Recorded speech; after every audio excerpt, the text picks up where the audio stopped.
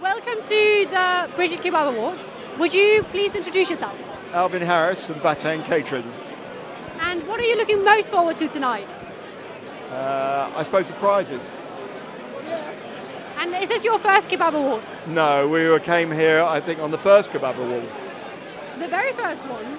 Okay, so you you are the veterans of the show tonight. Yeah, so are you enjoying the evening so far? So far, so good. As I said, just waiting for the food to turn up, and then we'll be happy.